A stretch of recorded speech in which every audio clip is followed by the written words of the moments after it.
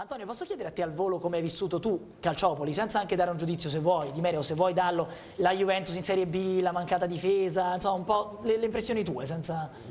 Ma eh, direi che forse è stata colpita eh, la squadra che più eh, si è resa eh, disponibile ad essere colpita, eh, quindi, eh, quindi, è chiaro che, che eh, io penso che, che comunque eh, Calciopoli non riguardi soltanto la Juventus, eh, sicuramente riguarda un sistema calcio che comunque non va, va oltre la Juventus, va oltre la Serie A, va, va oltre Come cioè, un po' tutto il sistema calcio. Come mai non sei dirigente di qualche squadra o della Juventus in È Serie A? stato dirigente del Bologna? no?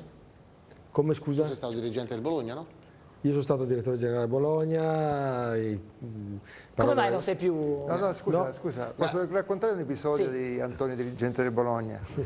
Io ero allenatore in seconda, lui non lo sa neanche lui, ero allenatore in seconda della Juve con Trapattoni, un giorno viene nello spogliatoio da Trapattoni e dice vado a Bologna, faccio il direttore sportivo, una cosa o un'altra.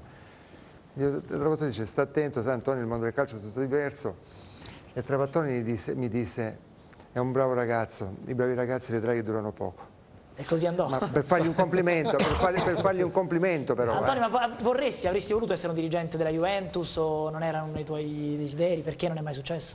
Faremo una trasmissione. Eri Juventino da vecchio. Facciamo una tra- trasmissione facciamo una trasmissione su questo, su perché ci sarebbe molto da dire. Rebel, rebel, African.